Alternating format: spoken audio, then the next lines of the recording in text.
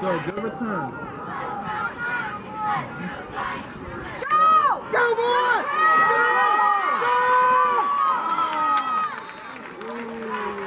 Jordan takes the ball from his 37, eludes two tacklers, and takes the ball out to mid.